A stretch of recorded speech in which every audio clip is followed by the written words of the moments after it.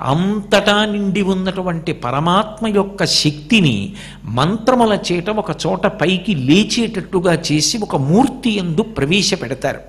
ఆ ప్రవేశపెట్టేటప్పుడు ఆ మూర్తి యొక్క రూపం పరమకోమలమయ్యేటట్టుగా చేస్తారు. అమ్మ కడుపులో మొట్టమొదట ఈ రూపం ఏర్పడినప్పుడు ఎముకల పోగు కింద అస్థిపంజరంగా మొదలై బుడగతో మొదలవుతుంది. భాగవతం కపిలగీతలో చెప్తారు.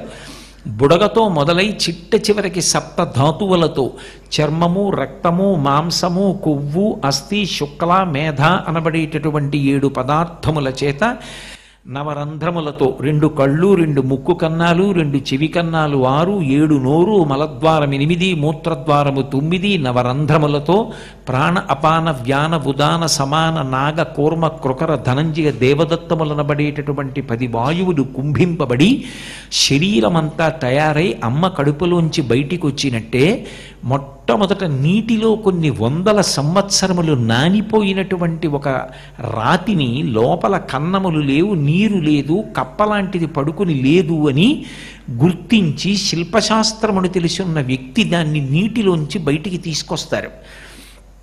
అనేక మంది శిల్పులు దాని మీద కూర్చుని చెక్కుతారు. చెక్కిన తరువాత కొంతకాలం తర్వాత ఆ మూర్తి తయారవుతుంది. ఒక్క నేత్రాలు మాత్రం విప్పరు. ఆ మూర్తిని తీసుకెళ్ళి ప్రతిష్ఠ చేసే ముందు అధివాసములు చేయిస్తారు. అంటే శయ్యాధివాసము ధాన్యాధివాసము పుష్పాధివాసము జలాధివాసము ఇటువంటి అధివాసములు మంత్రంతో చేయిస్తారు.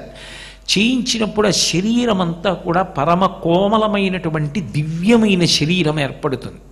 అప్రాకృత శరీరం తం అతిమన్మధరూపిణం ఘృతరీతి ఘనీభూతం సచ్చిదానంద విగ్రహం అంటాడు. లీలా లింగపురాణంలో వ్యాస భగవానుడు. అప్రాకృతమైనటువంటి శరీరము కలిగిన పరమాత్మ ఆ శిలామూర్తిలోకి చైతన్యంగా ఆవహిస్తాడు. భగవంతుని యొక్క శక్తి అందులోకి ప్రవేశిస్తుంది.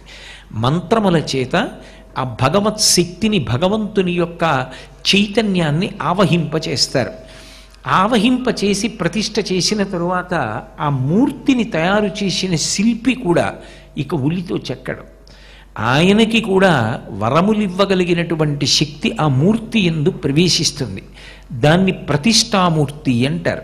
ఒక్కొక్క చోట ఋషి ప్రతిష్ఠ చేస్తాడు ఒక్కొక్క చోట మనుష్యులు ప్రతిష్ఠ చేస్తారు.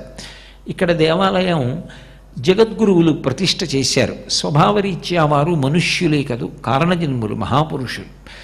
మనుష్య ప్రతిష్ట జరుగుతుంది. ఒక్కొక్క చోట ఋషులు ప్రతిష్ట చేస్తారు. ఎవరు ప్రతిష్ట చేశారు అన్నదాని వలన కూడా ఆ దేవాలయానికి ఒక విశేషమైన శక్తి ఉంటుంది. జగద్గురువుల యొక్క కరకమలముల చేత ప్రతిష్ట చేయబడిన మూర్తి విశేషమైన శక్తిని సంతరించుకొని ఉంటుంది. అటువంటి దేవాలయాలలో చేసేటటువంటి నామోచ్చరణకి కానీ పూజకి కానీ కొన్ని వేల రెట్ల ఫలితం అధికంగా ఇవ్వబడుతుంది. ఎందుచేత అంటే ఆ ప్రతిష్ట చేసినటువంటి వారి శక్తి అటువంటిది కాబట్టి.